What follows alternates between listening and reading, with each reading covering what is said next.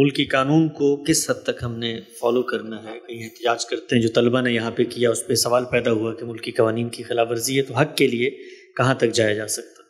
جب آپ کسی ملک کی سرزمین پر قدم رکھ دیتے ہیں تو آپ اس کے قانون کے پابند ہوتے ہیں۔ یہ آخری درجے میں پابندی کرنی چاہیے۔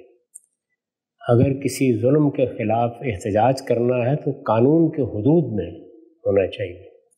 قانون کی خلاف ورزی اسلام میں بڑا جرم ہے۔ اللہ کے پیغمبر نے ہمیں سختی کے ساتھ روک دیا ہے کہ کوئی اختلال، کوئی انتشار اور سوسائٹی کے لیے نظم و نسق میں کوئی خرابی پیدا نہیں کی جانی چاہیے۔ تو قانون کے دائرے میں رہیے اور جمہوری ملکوں میں اس کا حق حاصل ہے آپ کو۔ مسلمان ملکوں میں البتہ آواز نکالنے سے بھی اجتناب کریں۔ یہاں تو آپ کو بہت سے حقوق ہیں۔ آپ آواز بلند کریں لیکن قانون کے دائرے میں رہ کے۔ قانون کو اپنے ہاتھ میں لینے کی جسارت نہ فرد کو کرنی چاہیے، نہ رہنماؤں کو کرنی چاہیے اور نہ دوسرے لوگوں کو اس کی ترغیب دینی چاہیے۔ قانون کی خلاف ورزی کا اگر مزاج پیدا ہو جائے تو قومیں بتدریج تباہ ہو جاتی۔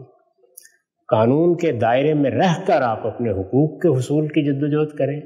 قانون کے دائرے میں رہ کر آپ اپنی آواز بلند کریں قانون کے دائرے میں رہ کر اپنا نقطہ نظر لوگوں کے سامنے پیش کریں۔ ایک متوازے ہو گیا۔ اچھا ہم سب ایک ضمنی پہلو بھی بیان کیجیے گا یہ لوگ پوچھتے ہیں عام طور پہ کہ ان ملکوں میں تو یہ ہوتا ہے لیکن پاکستان میں تو جب بھی آپ احتجاج کی کال دیتے ہیں یہ دفعہ ایک سو چوالیس لگ جائے گی ڈبل سواری پہ پابندی لگ جائے گی تو پھر تو آپ احتجاج کر ہی نہیں سکتے اگر آپ قانون پر عمل درآمد کر رہے ہیں تو۔ یہ آپ کے یہاں دفعہ ایک سو چوالیس لگتی ہے یہ سعودی عرب میں کیا لگتا ہے؟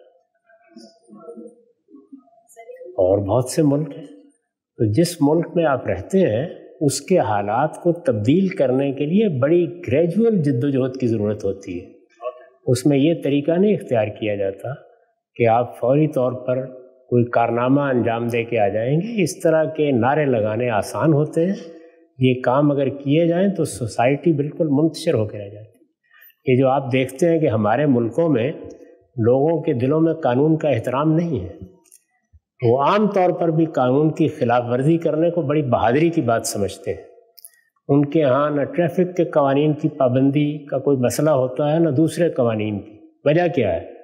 وجہ یہ ہے کہ ڈیڑھ سو سال تک ہمارے ہاں صرف احتجاج کی سیاست ہوئی جب انگریزوں کی حکومت تھی۔ تو لوگوں کا مزاج ہی نہیں رہا کہ قانون کی پابندی کرنی چاہیے۔ بہت یہ دیکھ لیجیے کہ اس کے بعد آپ کی قوم کو ایک قطار میں کھڑا کرنا بھی ناممکن ہو جاتا ہے۔ معمولی معمولی قواعد کی پابندی کرانا بھی مشکل ہو جاتا ہے۔ تو جب آپ پہلے مرحلے میں یہ نعرے لگاتے ہیں کہ آئیے قانون کو توڑتے ہیں اس وقت اندازہ نہیں ہوتا کہ اس کا مجموعی اثر سوسائٹی پر کیا پڑے گا۔ اس کے نتیجے میں کیا استاد تباہ بن جائے گی؟ اور لوگ آہستہ آہستہ کیسے قانون کو کھیل سمجھنا شروع کر دیں گے؟